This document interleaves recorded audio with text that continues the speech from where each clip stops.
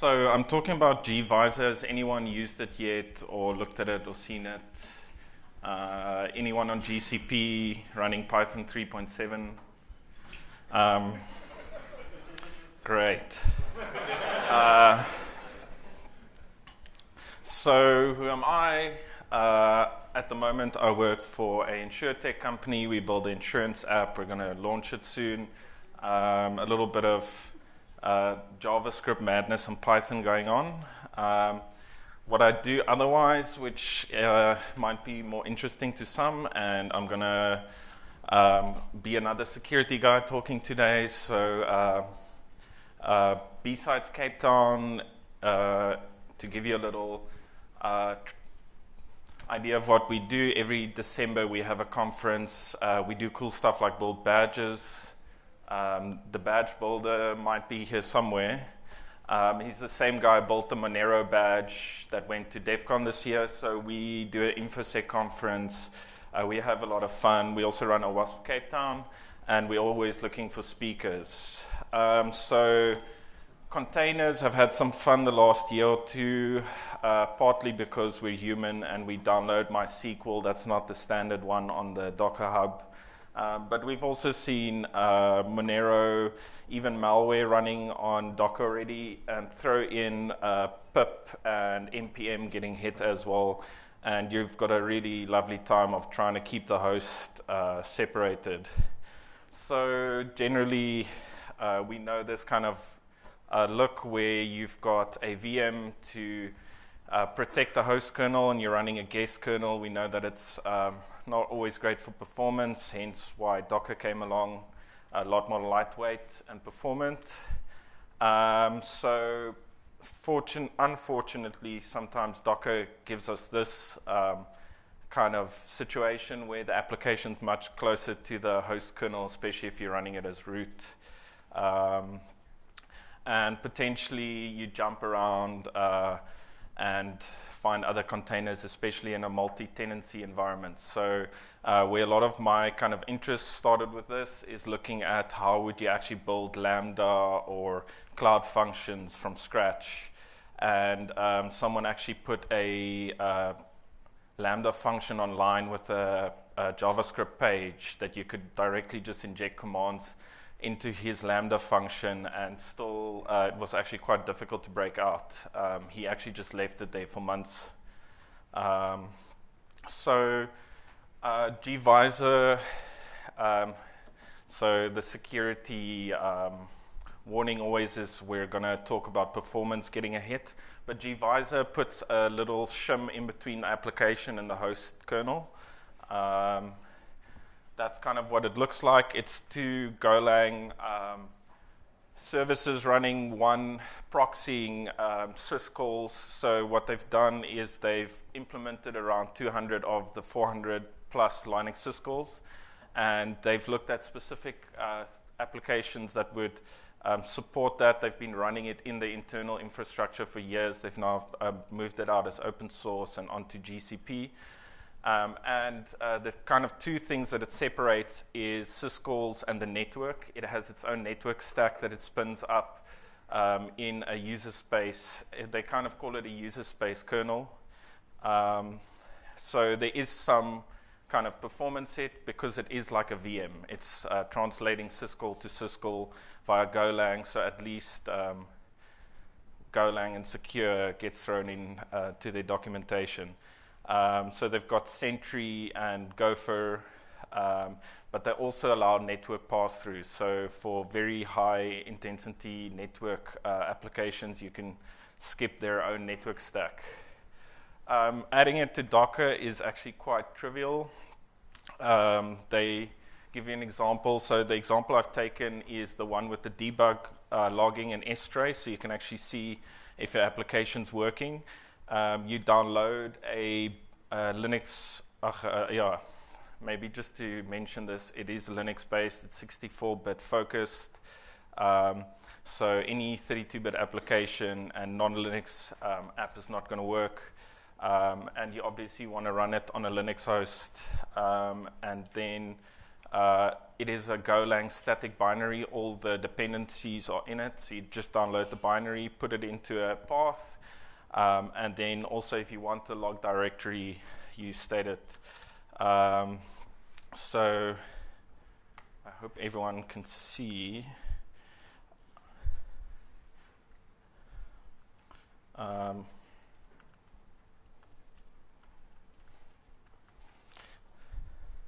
so when you actually come to using it, um, because they're following the uh, uh, OCI um, spec, you add it as a runtime argument and it runs. So this is a Alpine Linux Python 3.7 um, container that I built for this purpose. Um, why I even started looking at it is I uh, I'm doing a lot of Python 3.7 um, work with uh, uvloop, which is a um, async IO uh, asynchronous event loop uh, replacement for the normal async IO in Python, and it uses the same uh, kind of underlying event loop as Node.js. So it's a kind of a crazy environment that might break something like this, but I've actually uh, found so far that I haven't been able to break it with this except if I uh, Control C.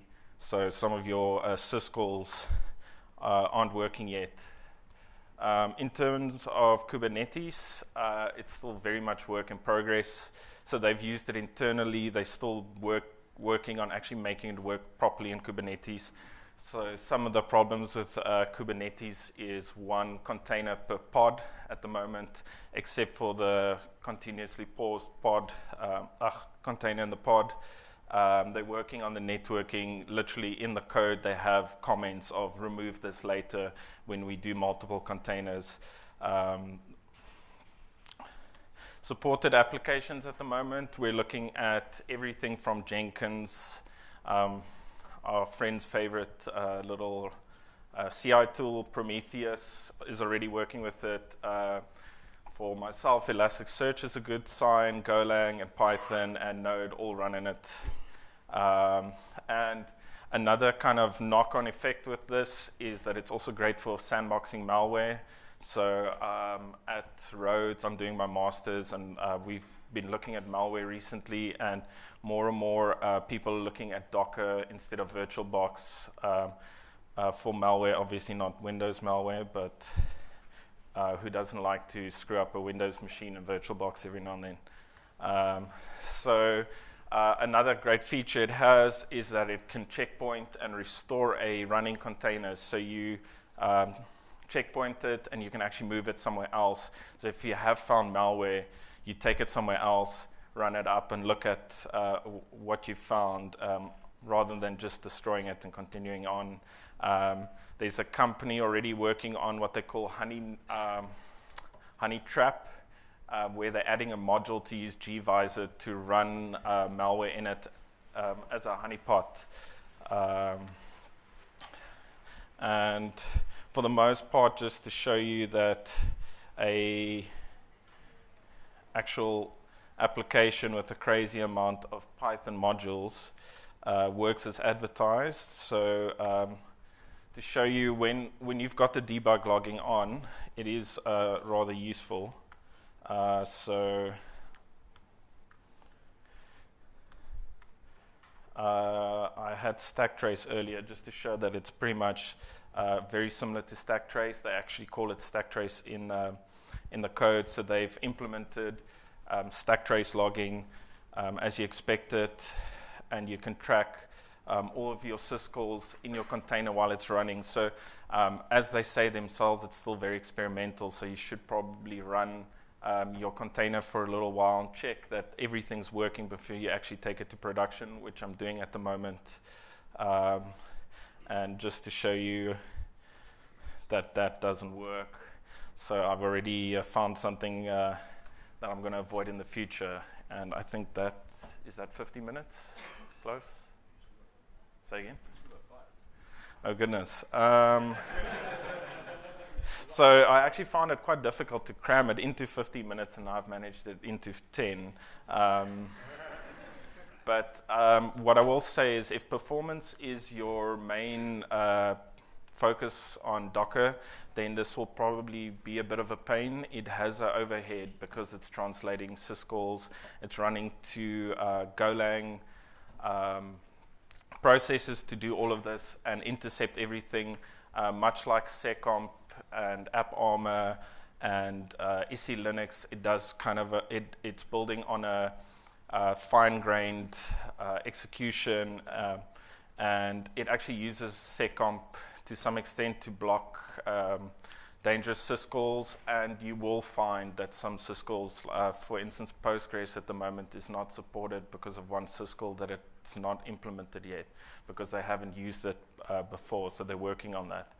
Um, so in general, what it's trying to do is it's trying to uh, lessen your footprint of potential syscalls that could be a problem. Another thing it's trying to prevent is, for instance, if you're running Docker as root, and you um, also running the network of the host, you could potentially hit the Docker daemon itself if it has a vulnerability. What this allows you to do, even if you're running as root, it's running in a separate uh, namespace um, with a network stack.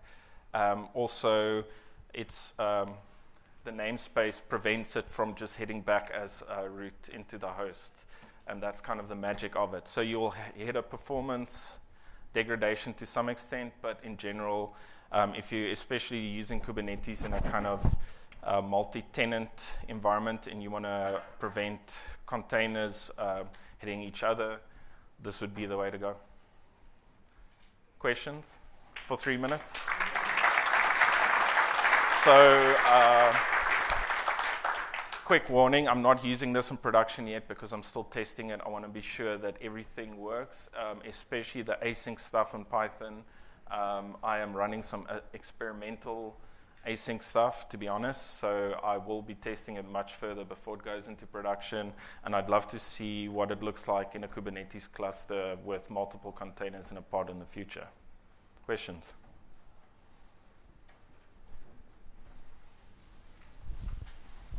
The um, performance set, what's the order of magnitude? 1%, 10%, 100%? Um, so they haven't measured it yet. Um, if I remember correctly, their claim to fame is that I think it's only a 25 meg binary. Um, so in terms of a full hypervisor, um, rather than 20%, we might be looking at 2 to 5%. Um, they are, um, in their documentation, they talk about running multiple threads and using as much of the host's resources as possible. But I think that's where they're running into the problems with Kubernetes is managing uh, multiple containers across pods with um, the resources not being flooded by Golang itself. So um, because they're only doing 200 syscalls, they're not virtualizing all the hardware. Um, I would, I, am still busy testing it, so I'll, if you follow me on Twitter, I'll, I'll tell my version of it at some point. But I would guess between two and five percent performance uh, hit. And and considering that it has its own network stack. Um, obviously, that's overhead as well, because you're hitting uh, their network stack, uh, the host network stack and potentially um, whatever other, um, like in Kubernetes, if you have any crazy routing, um, I, I, have no idea how that would impact it as well. Cool. One more question. Hi. Um, would you be able to give uh, your thoughts around kind of the the, the road forward, if you will, between uh, user space kernels and uh, unikernels?